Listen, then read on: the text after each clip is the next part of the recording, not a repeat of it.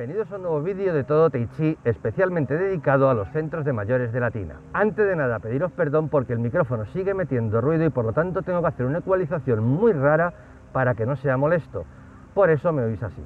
Os prometo que estoy ahorrando para comprarme otro micro. Hoy vamos a ver la relajación, el son, son, la relajación. Porque esto lleva muchos equívocos, sobre todo al principio. Confundimos relajar con dejar muerta una articulación. Estas muñecas no están relajadas, están muertas. Las muñecas relajadas tienen una cierta curvatura, es cierto, pero no un punto de inflexión. Para trabajarlo vamos a hacerlo con los ochos. Parece que este ejercicio del calentamiento es uno más y no, podemos sacar muchas chichas y durante el calentamiento también trabajamos estos principios. Lo que voy a hacer es separar un poco los pies y cargar el peso en una pierna. Y ahora voy a evitar que la otra me sujete, de forma que la gravedad va a tirar un poquito de mí.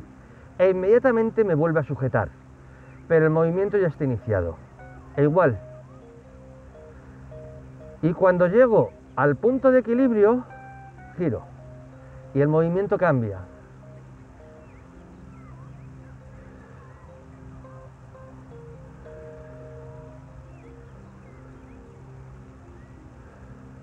Y ahora, si en lugar de estar pendiente de cómo mola el movimiento, estoy pendiente de mantener estructura, pues la cabeza no se me caerá.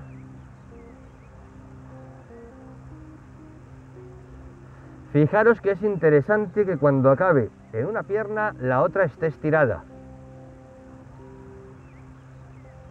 ¿Vale? Si lo estoy haciendo aquí, va a ser incomodísimo. Y si lo estoy haciendo aquí, pues tampoco estoy haciendo bien los cambios. Tiene que ser algo proporcional a una altura a la que yo esté cómodo y pueda trabajar. Como siempre, si bajo más, trabajo también el fortalecer las piernas. Pero eso depende de nuestra salud, de cómo tengamos las rodillas, de cómo tengamos las piernas, de la cadera, en general de nuestra salud. Entonces, ese va a ser el factor limitante porque no me tiene que doler. Si estoy trabajando la relajación en el momento en que siento un pellizquito, voy a tensar y a tomar por saco relajación. Tiramos a la basura el trabajo que llevamos hecho. No tiene sentido. Trabajando alto,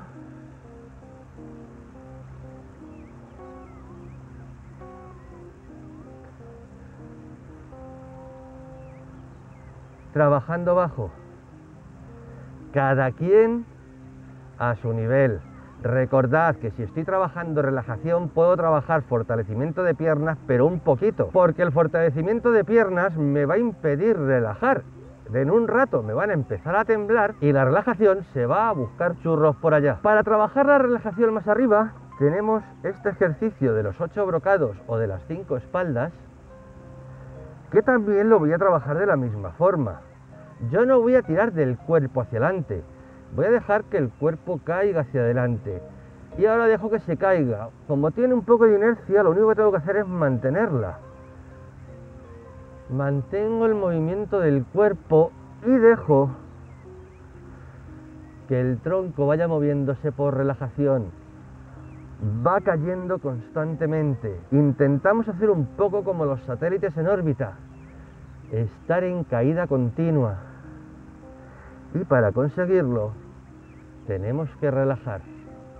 Relajo los abdominales, el lateral del cuerpo, las dorsales, relajo el otro lateral del cuerpo. Y ahora diréis, pero Jesús, los brazos por relajación no pueden subir, ni la rodilla puede subir por relajación. Ahí es cuando entra el peng que vimos en el otro vídeo. Al tener las articulaciones relajadas y los miembros relajados, puedo mandar esa sensación de inflar a la mano, a la pierna. Y el movimiento se hace por relajación. No es tanto por tensión, sino que mantengo la estructura.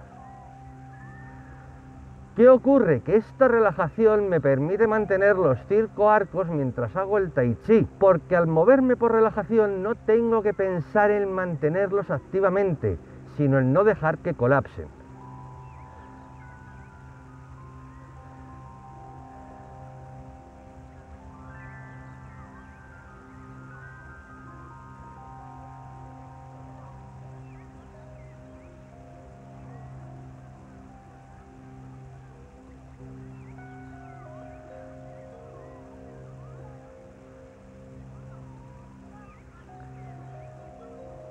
Y diréis, Jesús, siempre haces el mismo movimiento para demostrar las cosas. Es que no hacen falta más. Si nos movemos siguiendo los principios, lo que hago en un movimiento lo puedo transponer a todo lo demás. Como ya vimos con la transposición de los ochos en vertical y en horizontal. Por eso, en Tai Chi es importante practicar algunas cosas focalizadamente para poder ir profundizando en ellas. Si lo hacemos todo a la vez, volvemos a lo que vimos en el vídeo anterior, nos lleva a la frustración o al no avanzar. Bien, espero que este vídeo os haya gustado y os haya parecido interesante y nos vemos en el próximo vídeo de Todo Tai Chi.